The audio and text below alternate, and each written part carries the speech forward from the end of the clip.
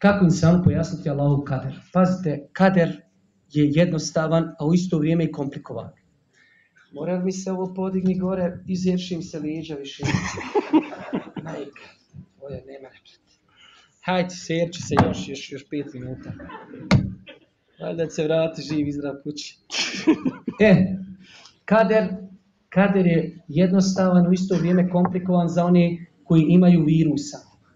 U islamu su odmah od prvih generacija, kao što je došlo kod imama muslima, od prvih generacija gore odakle non stop i eto i danas dan imate gore fitne iz Iraka i ono što je oko Iraka, iz Irana pogotovo, onaj dolazi cijelo vrijeme umetu žestoki udarci.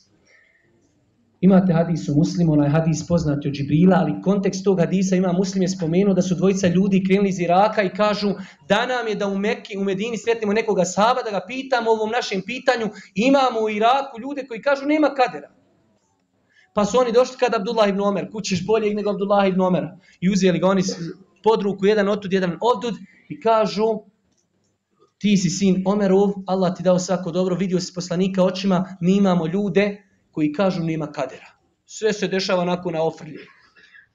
Kaži, poručite im kad, mene, kad ih sretnete da sam ja čist od njih i oni od mene. Oni nisu sa mnom u istoj vjeri, sam ja sa njima u istoj vjeri. Kaže, čuo sam svog babu, to je Omera, pa je onda citirao onaj veliki hadis o Džibrilu u kojem ima da je šesti rukn temelj islam o imana i vjerovanje u kader. Znači, vjerovanje u kader. Kako pojasniti početniku? Kader je Allahovo znanje. Rekli smo. Znači Allah je zapisao šta će se desiti. Insan ima slobodnu volju. Imate opet znači, dvije sekte poznate u, u pogledu kadera koje su otišle u jedno dvije krajnosti. Jednu kažu čovjek je ko robot. Sa, nemaš nikakve slobodne volje. Sve što radiš ti samo ideš po kaderu. Kao to je tebi sve tako naređeno. I ovi drugi, je tako i u islamu uvijek. Kad imaš istinu, imaš dvije uvijek krajnosti. Jedni ošli desno, jedni ošli lijevo. Imate uvijek tamo onoga što Facebook sad ganja Isaka Metovića, to je njegova struka akida, on će vam to puno bolje od mene pojasniti. E, u svakom slučaju, ovi jedni kažu ti si ko lutka paša, samo se vrtiš, ali ti ideš po kaderu, kližeš se samo. I onda te Allah kazni u džehennemu, to je neuzubila nepravda prema Allahu, kao ideš u džehennem, ali nisi imao slobodnog izbora. Gdje će ti to Allah uraditi? Ovi opet drugi kažu kontra. Ništa kaj nije određen. Radi šta hoćeš, to sve je od tebe.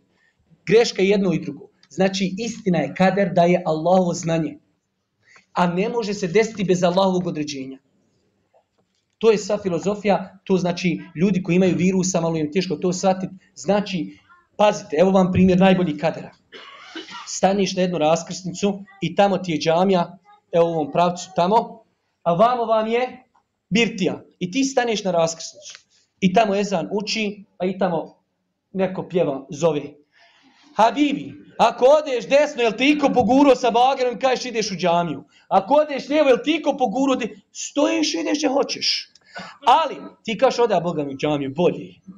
E, to što si odabro, to je Allah zapisao u kader da ćeš ti to uraditi. Ali te Allah to nije naredio. Već je Allah znao da ćeš ti to uraditi. I savršena se, ne znam je li to toliko teško sabrati jedan plus jedan, dva čoveče, to nema nikakve filozofije. Tako da je to najlakše objasniti ljudima sa slobodnom voljom. Stojiš na raskrsnici, ima hajt, ima zlo, ti odaberiš šta hoćeš, šta god da odaberiš, Allah svemogući i sveznajući znao da ćeš to odabrati, pa je to zapisao.